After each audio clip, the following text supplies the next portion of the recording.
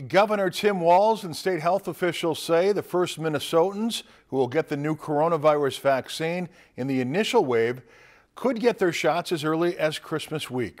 Minnesota is poised to get 46,800 doses of the Pfizer vaccine next week, followed by 136,000 doses of the Moderna vaccine in the two weeks after that, for a total of 183,400 within the first month.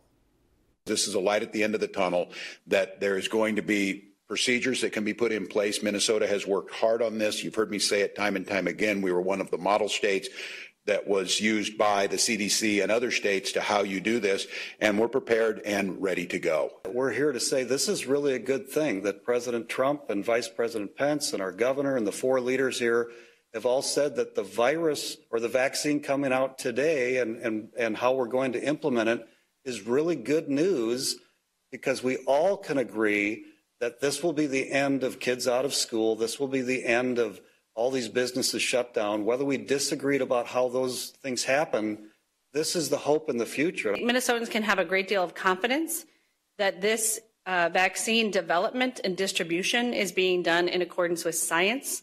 It is not a partisan political exercise, and the four of us are here today to say that the vaccine distribution is not a political issue and that this is something that we all uh, share together the, the hope that this is the beginning of the end of the pandemic having its hold on Minnesota. And by getting the vaccine is how we will get to the other side. The whole thing about this particular event was to see the fact that we had four legislative leaders agreeing with the governor that the vaccine is really important and that we want to encourage people to take it. And particularly if you're older, uh, this will be a lifesaver. Uh, and that's where, you know, most of the people are dying, and this is just a critical moment. And I wanted to show support of the governor.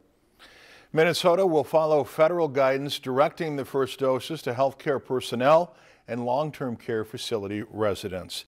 Lakeland News is member-supported content. Please consider supporting Lakeland News today.